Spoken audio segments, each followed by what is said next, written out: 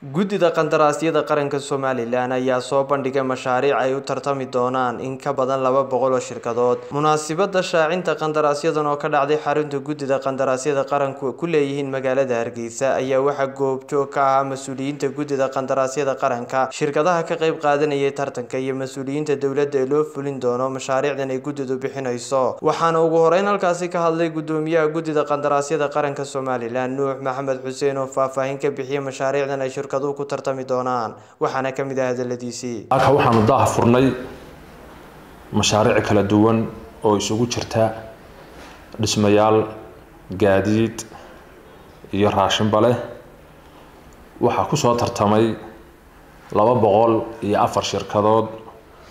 Runtii saaka tartan aada u weyn ayaa halkan ka dhacay. Dhismayaasha.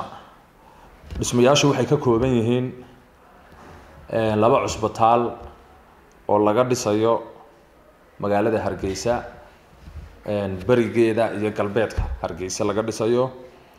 Waxaa kale oo iyagana la dhisayaa wasaaradda macdanta. Dhismo loo dhisayo gobolka saaxil laga dhisayo degmada berbera haddii alla ka dhigo waxaan u xulan doonaa si daah furan tartamayaasha si daah furanna waan u soo bandhigi doonaa cidda ku guuleysatay haddii alla ka dhigo. Waxaa xusud mudan qandaraasyadan iyo kuwii horeba in laga maalgelinayo qasnada dowladda. Geestooda waxaa iyaguna halkaasi ka hadlay xubno kamida guddida qandaraasyada qaranka iyo garyaqaanka guud ee qaranka. Agaasimayaasha guud ee wasaaradaha horumarinta caafimaadka iyo macdanta iyo tamarta iyo guddoomiye ku-xigeenka hay'adda ka hortaga masiibooyinka iyo kaydka raashinka qaranka kuwaasi oo mashaariicdan loo qabanayay xarumahooda iyagoo soo dhoweeyey qaabka daahfuran ee guddida qandaraasyada u kala xulaysa shirkadaha. Waxaa iyaguna sidoo kale halkaasi ka hadlay shirkadihii ka qeyb qaadanayay tartanka mashaariicdan dowladdu fulinayso waxaana dhammaantood ka mid ah hadaladoodii ayay laba boqoloo shirkadood ku hirdamayaan afar baa helaya inta kalena way waayeysaa afartii alla u qoray unbaa helaya. Afartaa ilaahay u qorayna waajib baa saaran inta weydayna waajib baa saaran annagana waajib baana saaran. Annaga waajibkana saaran waxa weeye inaannu sidii alla og yahay ee cadaalada ee xeerkaa u yaalla qandaraasyada ee wax lagu kala saaro ku saabsan inaannu idiin kala saarro.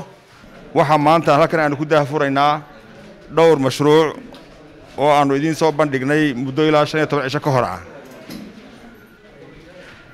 markaanu halkaa maanta waxaa caddaan ah inay ka qaybgelayaan dad ka badan ama shirkado ka badan laba boqol oo shirkadood. Wasaarad caafimaad ahaan waxaa annaga noogu jiray maanta laba cusbitaal oo laga dhisayo caasimadda hargeysa. Labadaa cusbitaal oo aannu ugu talagalnay inaannu ka dhisno hareeraha caasimadda hargeysa gaar ahaan inaannu ka dhisno midna dhinaca bariga midna dhinaca galbeedka iyada oo ujeeddada aannu ka leenahay ay tahay in kor loo qaado oo la weyneeyo baahiyaha sidii loo yarayn lahaa baahiyaha caafimaad ee ay qabto caasimaddu si tartan oo xor ah oo xalaalo madax bannaan oo uu goobjoogisa uu ka yahayna iyaduna ay guddida qandaraasyadu maanta ay halkan u baahiyaan oo aynu u fadhino kii guulaystay iyo kii laga guulaystayba waxaanu is leenahay waa wada guulaysateen.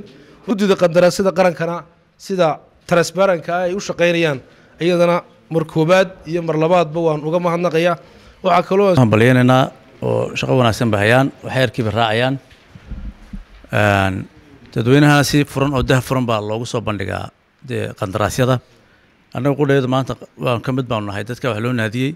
Hay'adda u diyaargarowga aafooyinka kaydka raashinka qaranka ah.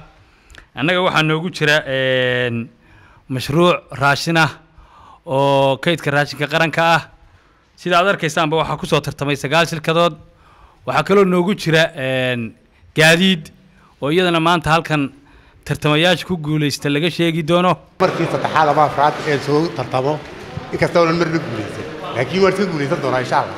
Inaan guulaysto oo keliya laakiin inaan tartamo ayaa muhiima waayo waan gaari doonaa u natiijada haddii alla shirkadda hoban construction company aad baan ugu faraxsanahay inaan ka qayb galo bidhkan ay bixisay guddida qadaraasyadu kuwaasoo si hagar la'aana noogu qaybiya bidharhka marka aad baan ugu faraxsan maxamed cabdiraxmaan calson t v hargeysa.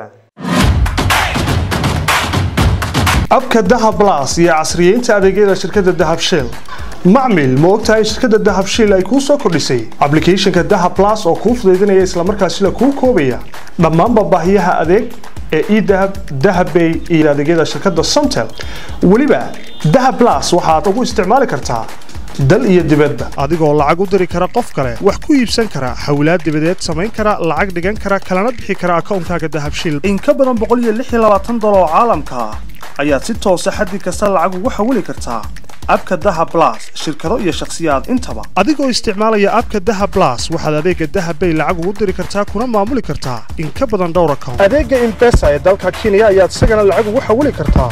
Xaddi kasta. Adigoo la socon kara dhammaan dhaqdhaqaaqyadaada maaliyadeed ee idahab iyo bangigaaga adeegyada somtel ayaad iyagana ka helaysaa abka dahab blas mar kasta iyo mar kastaba ku isticmaal ablicathonka dahab blas